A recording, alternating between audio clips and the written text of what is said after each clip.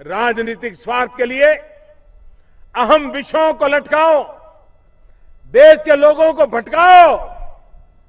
यही चलता रहा। क्या क्या तरीके अपनाए गए, ये देश ने भली भांति देखा है। आज इतने महत्वपूर्ण और संवेदनशील केस का भी फैसला हो चुका है।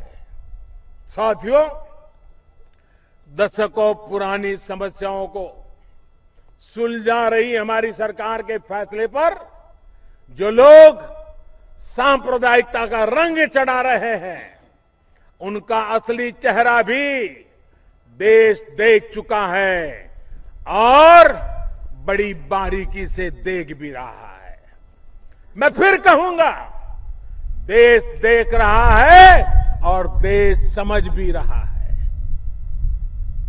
ये सही है कि देश चुप ज़रूर है, लेकिन बात को पूरी तरह समझ रहा है।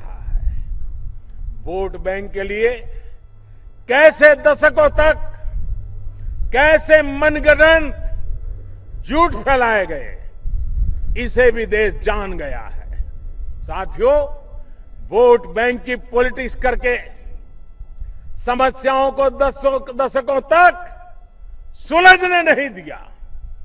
तुष्टीकरण की इसी राजनीति की वजह से मुस्लिम बहन बेटियों को दशकों तक ट्रिपल तलाक के भय से मुक्ति नहीं मिल पाई, जबकि दुनिया के अनेक मुस्लिम देश अपने यहाँ ट्रिपल तलाक बैन कर चुके थे।